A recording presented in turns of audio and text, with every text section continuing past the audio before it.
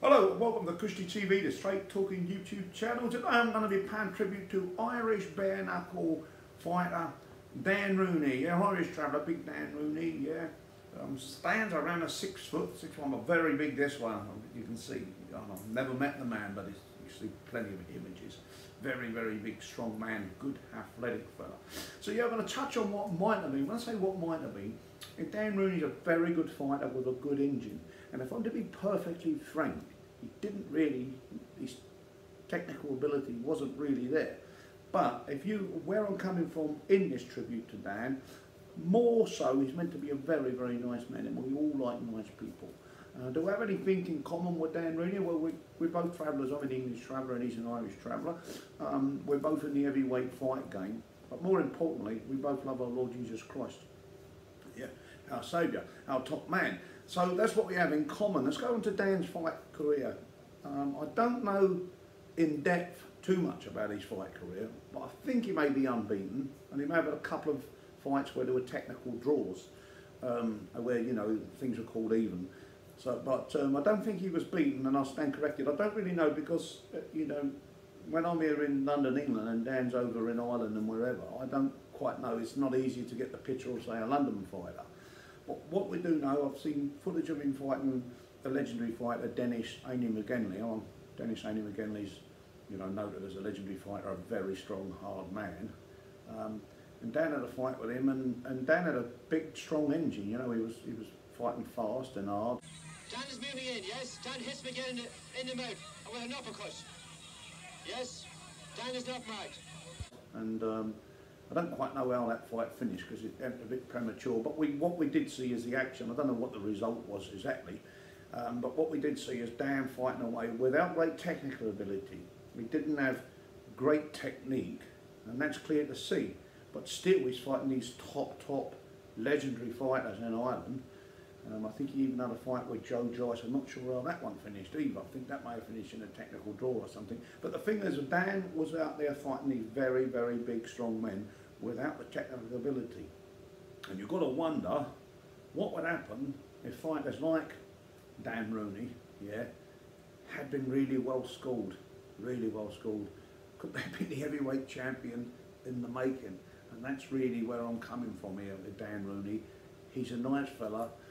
Um, supposedly he's a gentleman. He took all of it, all of his fights right out there, you know, into people's faces. He feared not. He, he was there to give it a good go without the technical ability. Now we wondered, could somebody like Dan Rooney have been heavyweight champion of the world, yeah, if they was reined in technically, you know, if they were technically putting their punches correctly together and they were well schooled as a boxer, you know, because they never lacked art, did they? They never lacked the athletic uh, ability, never lacked strength.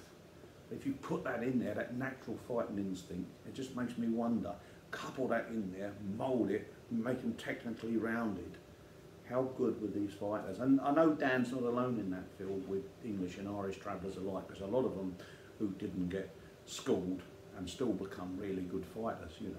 I mean, Johnny Love from Kent, on the London-Kent border, that he springs to mind. He went professional without having any amateur fights, as did my grandfather, Jack Daly, and he actually fought for titles.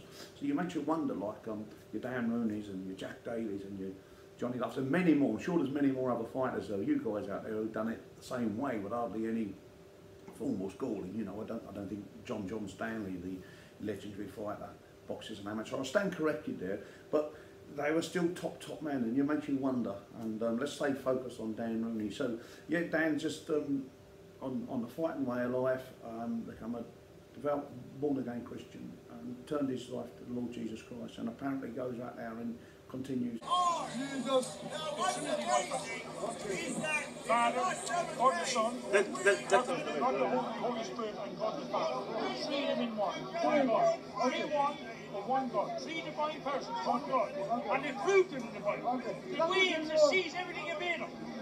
To preach the good word, and just said, goodbye fighting, not for me.